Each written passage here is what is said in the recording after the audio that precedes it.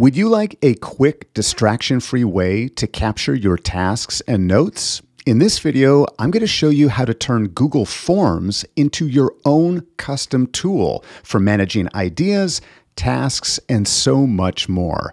Hello, everyone. Scott Friesen here at Simpletivity, helping you to get more done and enjoy less stress. And tell me if this sounds familiar. You're at your computer and you're focusing intently on your number one task when that idea pops up into your head. What do you do? Well, maybe you jump into your Notes app and create a new note. Or maybe you go into your favorite task manager and you create a new to do. But no matter what app you use, there is often a major problem. Even before you've created that new task or note, you can't help but browse and glance at all of the other tasks that you need to accomplish today or this week. This can not only be very depressing, but sometimes we are tempted to go and look for something else and actually start working on a different task. Well, with the help of Google Forms, we can create a personal form just for our use so we can manage all of our tasks and ideas and never have to see all of the other things that are on our plate so that we can retain that focus and work distraction free. Here I've created a form just for me called Quick Tasks and Ideas. I'm going to run you through how it works, and then I'm going to show you how to build it yourself so that you can customize it for the way you like to work. So here down below, my very first question, I've got two big buttons. What am I thinking about? Am I thinking about a new task or is it simply an idea? I think far too often we mix up these two and we think that everything is a to do when in some cases it is just a maybe or a someday or something I want to come back to. Let's start with a task. So I'm going to select task and then select next.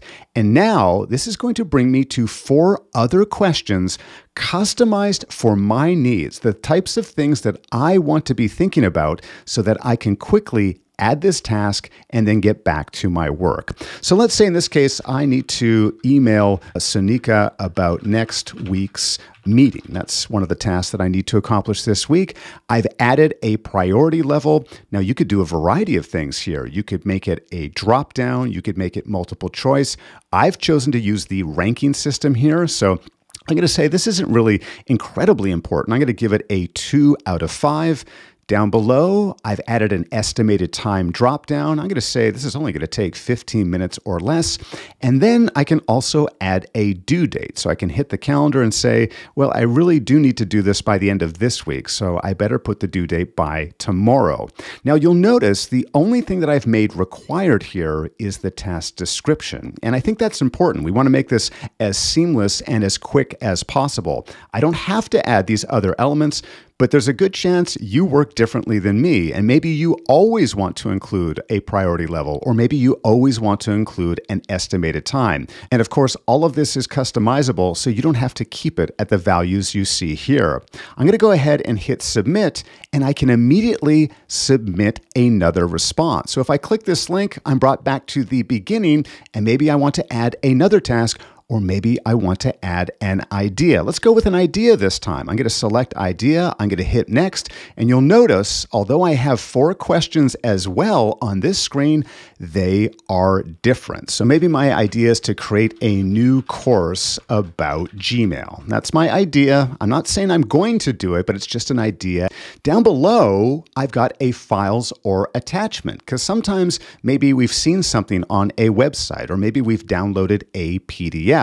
So in this case, I'm going to say add file. I can browse and either grab something directly from my Google Drive account or I can grab something here from my computer. I'm just going to grab an image in this particular example, but I can choose to add multiple files if I want to and include that as a part of my note collection.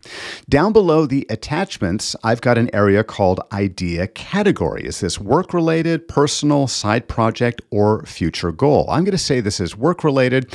And then lastly, we have another date picker but the question is a little different. When would you like to revisit this idea? We haven't committed to this idea. It's not a task. So I'm going to say, you know, at the latest, I'd like to revisit this by the end of January. I'm going to hit submit. And once again, we can very easily submit another response. So now that you've seen how my task and idea form works, where does all that information go? Well, the easiest place to see and filter and sort that information is within the attached sheet. You may already know that every Google form you can create a linked sheet. So here I've got all of that valuable information. In this case, I've got my tasks and my ideas mixed in here, but of course I can easily sort that if I want to. Let's say I only want to see my tasks tasks. I'm going to say OK, and now all I see is my task. Do I want to maybe sort this by priority? Yeah, that's something that you would want to do with your task list. Now I've got all of those tasks sorted by priority.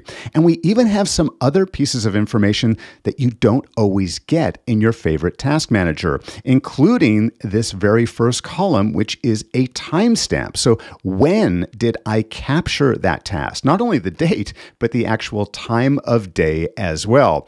And remember, all of these fields are customizable. So you can choose to change them, you can choose to add more options.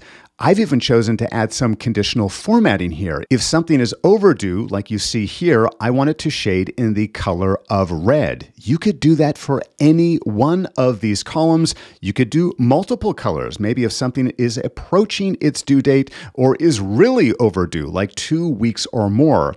A lot of these things are hard coded in your favorite task manager or maybe don't even exist at all. You can customize it here to your heart's content. So let's jump back into Google Forms and I'm going to show you how to build a form just like this and show you the other ways in which you can customize your personal task manager or note taker. We're going to start with a blank form here. And of course, you're going to want to title it something like tasks and ideas or really anything that you want. We're going to put a pause on changing the colors and adding the header like you saw earlier. You can always watch one of my other Simpletivity tutorials if you're wanting to customize the look and feel. Now, the very first question in my form was, What are you thinking about? Again, you can do anything that you like. You can word this any way that you want, but the type of question that we want is a multiple choice question. Now, of course, you could just build a task taking tool or an idea taking tool and not have this separation or this option at the beginning, but I want to show you how to do it nonetheless. So in this case, my first one was a task, and then my second one was an idea. So those are the two options that I wanted. But you may remember that I had those two big images that made it even that much easier to select, especially if I'm using this on my mobile device. So if we come over here, we can add an image. I'm going to click on Browse and I'm going to check that checkbox there. So that is going to be my task image. And then over here beside idea, I'm also going to select browse and I'm going to grab that question image. Now, when you're building out your form, it may look a little funny. You'll notice that it looked a lot different when we went to actually use the form, but this is the basis of that form. Now, because we are going to use branching, meaning depending on which of these two we're going to send yourself somewhere differently, what we need to do is come over to the right hand side and select Add a Section. And in fact, we're going to add two different sections. The first one here is I'm just going to title Tasks. And then down below that, we are going to add a third section, which I'm going to label as Idea. Now, keep in mind, you could add multiple sections if you want. If you wanted something beyond just task and idea, you could do that as well. But let's keep it simple with this example. So here within task, we can start adding our questions. And you probably want to start with some type of description. You know, what is this task all about? I'm going to add that plus button again. Now, as my second question in my form, I choose the new rating system here. So if I select this, it's going to give me a number of stars, but you can customize this. You can reduce it to maybe only three stars And they don't even have to be stars. They could be hearts or they could be thumbs up, whatever you like. But again, you don't have to follow my lead. You could always choose multiple choice boxes if you wanted to. You could choose a drop down, whatever you think is easier. Here in the question field, I'm just going to call this uh, priority because that is the ranking that we're going to choose here. And then on the right hand side, we can continue to add as many questions as you like. Perhaps the last one that I'm going to add in this example is that date field. So in this case, because we're dealing with tasks, I'm going to say due date. So you'll be able to pick a particular date. So this is section two, titled tasks. Section three, of course, is ideas. So you're going to want to select the particular particular section first before you start adding questions. So, once again, we want a description of what that idea is all about. And in most cases, you may want to include a short answer. It could be paragraph form. Maybe there's a lot of things that you want to add to that. I'm going to hit that plus button again. Here, I'm going to add that file upload option. So it gives us a brief warning here saying that you will need to be signed in, which is fine. This is just for us. We're not sending this to anyone else. This is just for our own needs. So I'm going to say continue. And now I'll be able to upload documents or different files directly to my form. Now, you can limit this by certain specific file types if you want. I don't know why you would choose that when it comes to collecting ideas, but you can also increase the number of files that are uploaded at a time. You can choose between 1, 5, and 10, and you can also limit yourself in terms of the maximum file size. I think these come more into play when you're using a form within an external external audience, but when it comes to yourself, you can adjust these any way that you like. And maybe the last question here, once again, is I will add another date field because I like that idea of when to revisit. You know, when do you want to come back and review this idea? So that's going to be my last option here. Now, at this stage, you may think that we're done and we're ready to use this form, but wait, there's a very important step.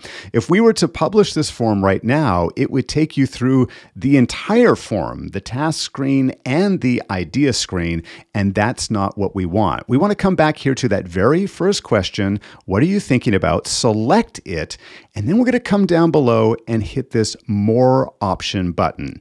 And we want to select Go to Section based on answer. This is that conditional logic, or sometimes referred to as branching, that I was talking about earlier. So I'm going to select that, and now you will see to the right of both of these multiple choice questions, it has given me a drop down. So do I want to continue to the next section, or do I want to go somewhere else? Now, with a task, I could leave it at continue to next section because that is what is happening. That is the next section in our list. But what if I edit this or what if I change this in the future? It's better to select this and say, no, I want to go directly to section two. That's task. This first section is where we are right now. So I want to go to section two. And then, yes, it's pretty straightforward. When it comes to idea, I want to go to section three, the idea screen. So that's going to send us to the correct location. Now, if we want to come up here and select preview, here we can see if it's working correctly. Idea is the last section. If I select that and hit next, Perfect. It's brought to my idea screen. I can fill out this information, collect my thoughts, and then return to my most important project. Last but not least, don't forget to come up to responses here and to link to sheets. Otherwise, your results are just going to be summarized here, and that's going to be a very difficult way to manage all of your tasks and ideas. By linking it to sheets, you have the power to use filters, conditional formatting, and any other type of customization you'd like add to your personal task manager and customized note taker. Now, I'd love to hear from you next. Are there some unique or special ways that you have been using Google Forms? Be sure to let me know in the comments down below.